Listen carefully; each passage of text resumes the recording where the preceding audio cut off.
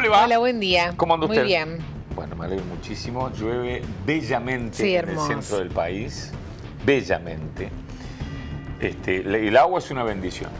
Sí, El agua. claro. Tanto que la esperamos. Mira, mira qué belleza. Sobre todo para algunos que deberían pegarse una duchita más seguido.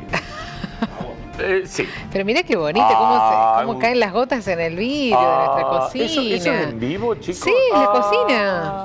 Falta algo romántico, Gastón. ¡Qué maravilla!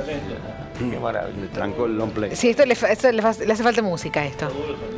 Le hace falta música porque con semejantes lluvias, sí, imagen.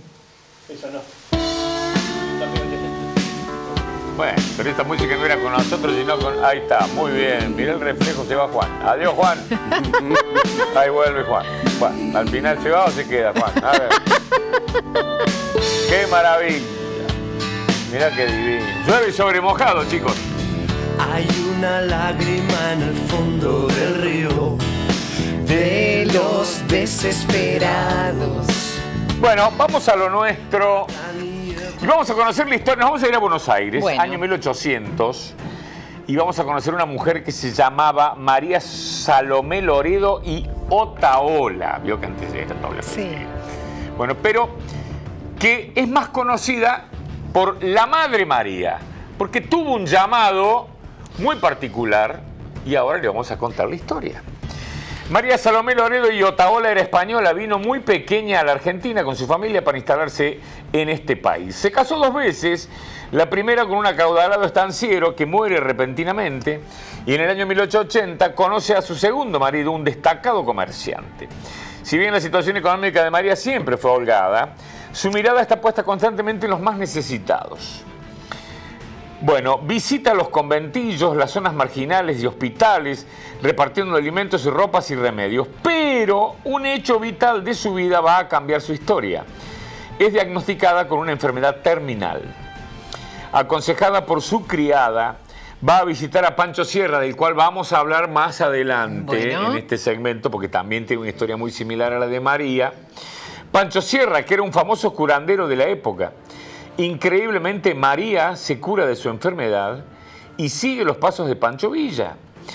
Eh, testimonios del año 1892 afirman que María meditó y rezó durante 24 horas hasta que sale del trance y dice, Jesús me habló, me transmitió lo que debo hacer, debo darme a mi misión. El enorme comedor de la casona donde vivía, que estaba ubicada en la calle La Rioja 771 en Balvanera, fue usado como templo donde recibía a miles de fieles diariamente que pedían consejos y curas para diversas enfermedades.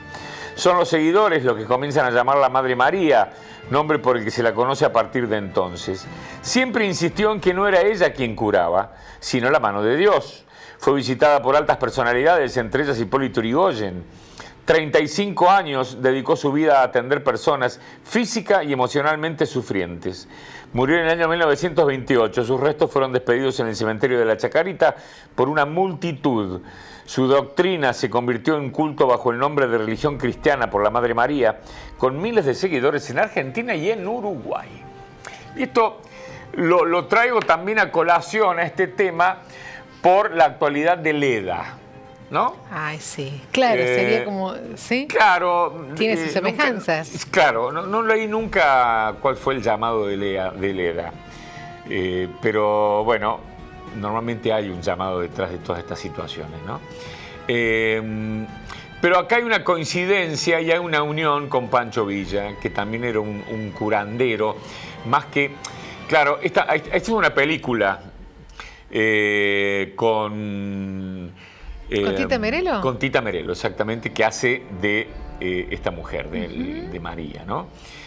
Porque fue muy, muy fuerte el impacto que tuvo en la sociedad de aquella época, por lo tanto, valía la pena, según los entendidos, hacer una película. Entonces, eso es una foto también de la imposición de manos. Por eso digo, es muy similar a la historia de. Leda, nada más que en el año 1890. Y acá se unen, decía, con Pancho Villa, que también tiene una historia similar y que vamos a hablar en este segmento días más adelante. Bueno.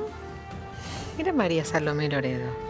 María Salomé Loredo, que tiene este llamado. Normalmente, eh, o hay muchos casos en donde estas personas son, eh, tienen una situación económica pudiente, en donde dejan absolutamente todo para colaborar y, llevar este tipo de, de- de signos y de prodigios a, a los más necesitados. ¿no? Gracias. Nos vemos en un Muchas ratito. gracias por la historia, como no.